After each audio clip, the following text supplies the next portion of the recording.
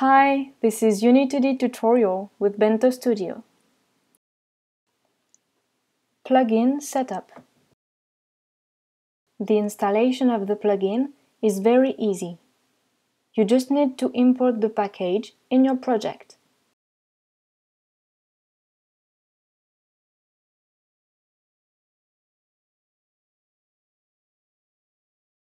Then click on the Uni2D item in the menu bar and click on Sprite Editor. It will open the Sprite Editor window. Don't forget to leave this window open each time you want to use Uni2D features. Creating sprites.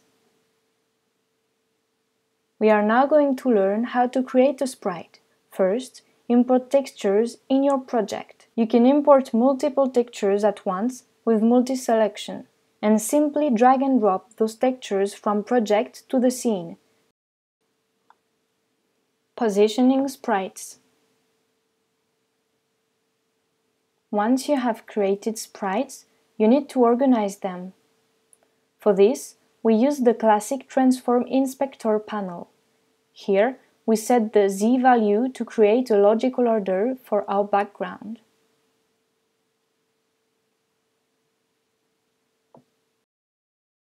Adjusting backgrounds. In our example, the green mountain layer is too high. But if we move it down, the sprite base won't be at the same height as the other sprites. That's why we decide to crop it. We edit the texture in a picture editor and when we go back to Unity, we can see that the sprite has changed. We also see that it's too low, so we move it up. The background is now better.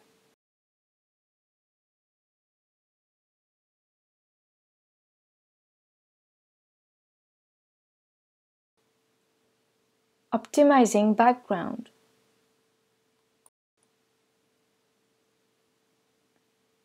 To optimize our background, we select all the mountains layers and click on the Texture to Mesh option.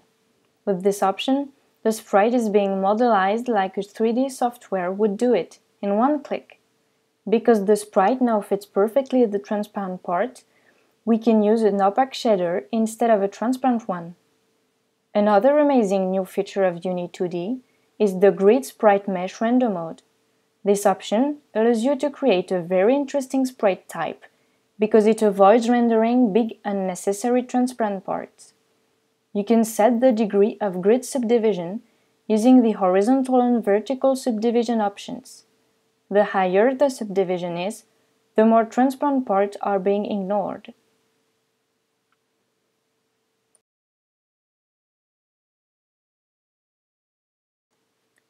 Using the pivot points.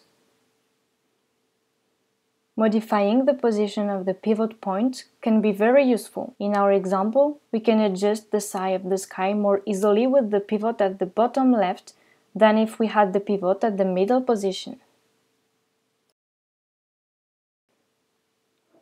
Using vertex color feature. It could be very interesting to clone the sprite to create a richer background, but cloning objects could be very noticeable Using the sprite scale and the vertex color option allow you to create a lot of different appearances.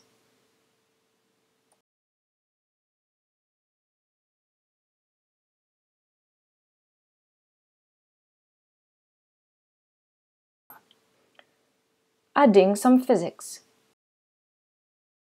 We activate the ground physics with the static option because the ground doesn't move.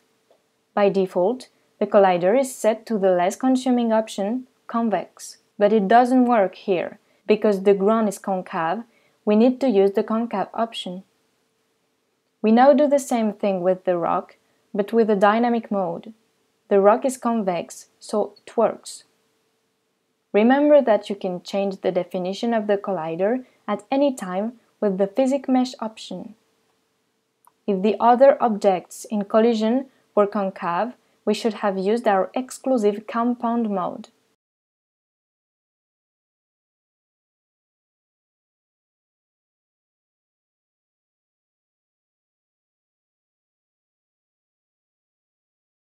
Adding some animation.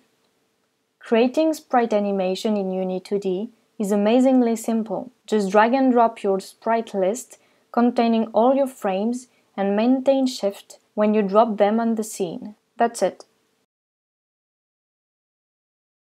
Animation and physics.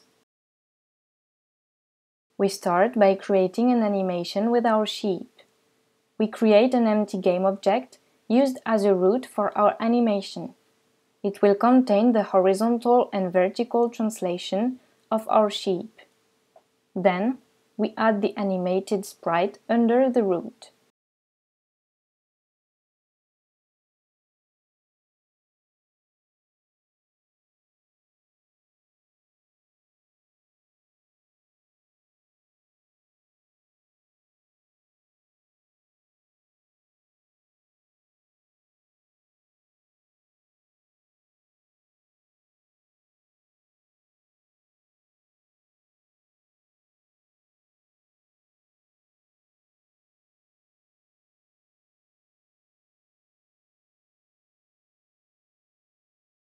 Once the animation is done, we activate the physics on the sheep by clicking on the isKinematic option.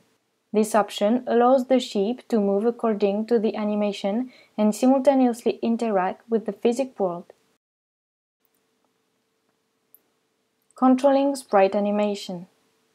In the previous scene, the sheep kept on walking even if his destination goal had been reached.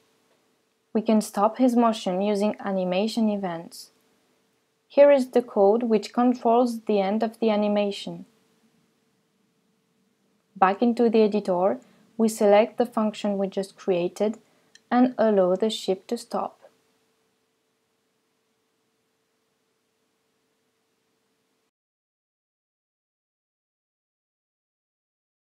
Multi-atlasing system one of the most amazing features of Uni2D is the totally new atlasing system. Just select all the sprites you want and click on Create Atlas. That's all. Atlasing allows you to combine all the sprites in one or more textures, optimizing the render process.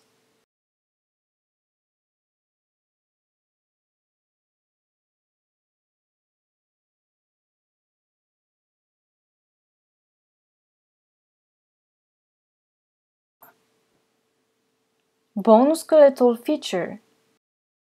This exclusive feature allows you to deform a sprite in real time in a blazingly fast way. First, we create a sprite. We open the skeletal animation editor and activate the grid mode. We define a good iteration level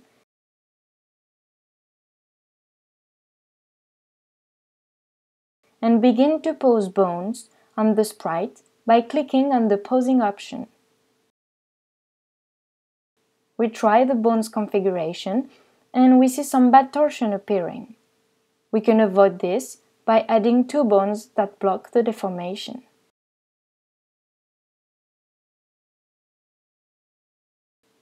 Now the result is perfect. To finish this little cinematic, we add a rock falling on the road sign. Thanks for watching and see you soon.